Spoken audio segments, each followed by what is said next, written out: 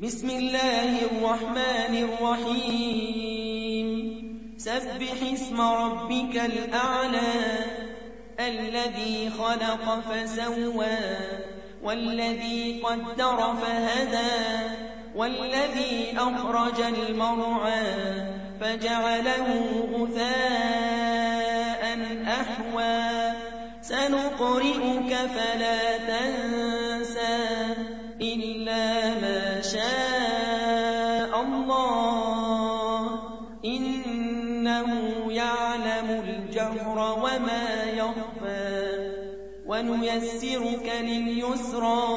فذكر إن نفعت الذكرى.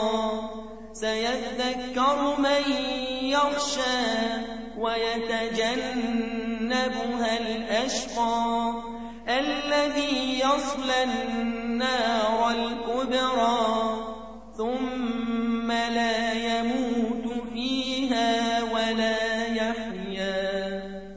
قد أفلح من تزكى وذكر اسم ربه فصلى.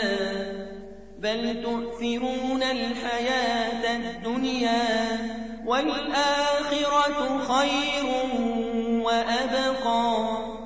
إن هذا لفي الصحف الأولى صحف إبراهيم وموسى.